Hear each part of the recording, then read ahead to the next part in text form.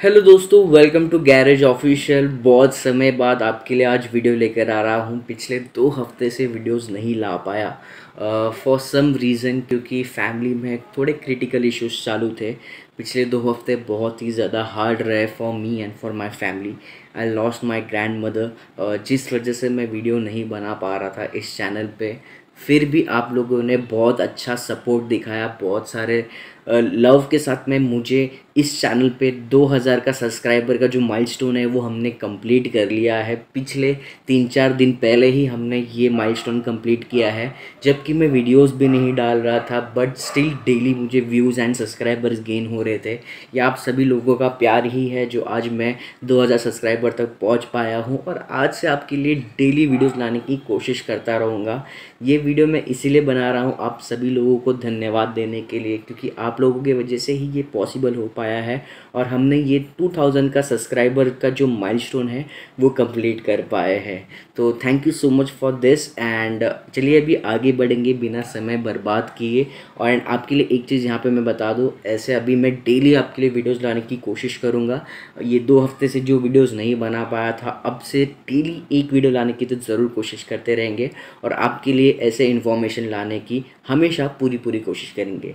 चलिए अभी बात करते हैं, हाल ही के समय में एक one of the shocking news जो मैंने देखी थी वो है रेनॉल्ड ट्राइबर के ऊपर, जिसने हाल ही में जी एन कैप में फोर स्टार रेटिंग लेकर आई है और एक one of the safest product बन गया है एमपीवी सेगमेंट में, जो काफ़ी ज़्यादा शॉकिंग है। मैंने कभी एक्सपेक्ट नहीं किया था कि रेनॉल्ड ट्राइबर फोर स्टार ला सकती है। मुझे तो लगता था ये ज़ीरो स्टार भी लाएगी या फिर वन स्टार ला पाएगी, इसके ऊपर लाएगी ही नहीं। बट रेनो ने जो काम किया है ये इंडियन स्पेक प्रोडक्ट है, जिसके बेस मॉडल पर जी एन कैब में टेस्टिंग की गई है, जिसमें आपको टू ड्यूअल एयरबैग्स मिलते हैं। इसी प्रोडक्ट ने अराउंड 11.60 के आसपास स्कोर किया है, जो लगभग फोर स्टार की रेटिंग दे दिया है जी एन कैप ने।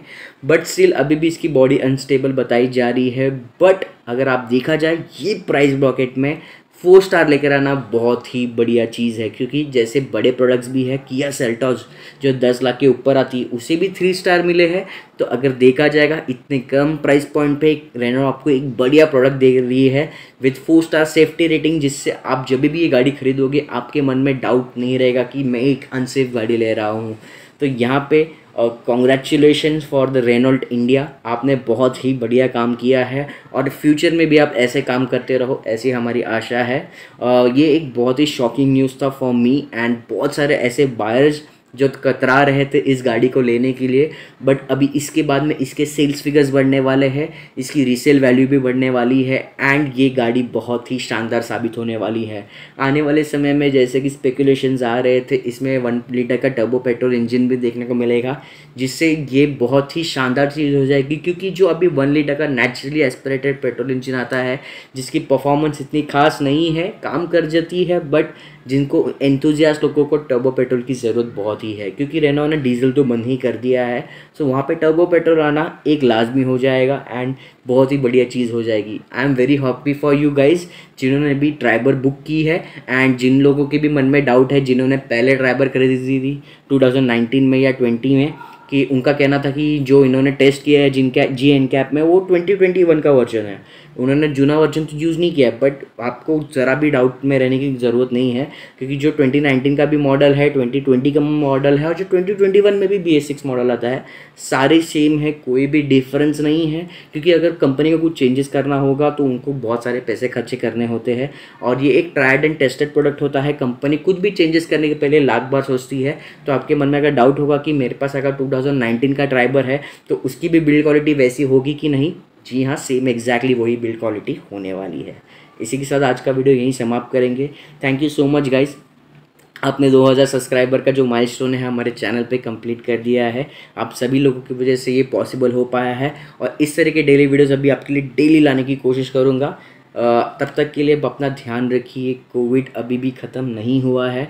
अपना ख्याल रखिए बाहर कम जाइए वैक्सीन मिल रही है तो ले लीजिए एंड अपने परिवार का बहुत बहुत ध्यान रखिए दोस्तों क्योंकि ये जो समय है हम सभी के लिए बहुत ही मुश्किल समय है एंड हम सभी को इससे बाहर आना है बहुत ही जल्दी।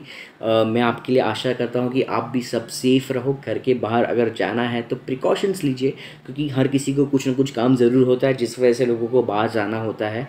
बट एक अच्छे तरीके से सैनिटाइजेशन फॉलो कीजिए प्रॉपर प्रिकॉशंस लीजिए एंड अपना ध्यान रखिए दोस्तों. Take care try safe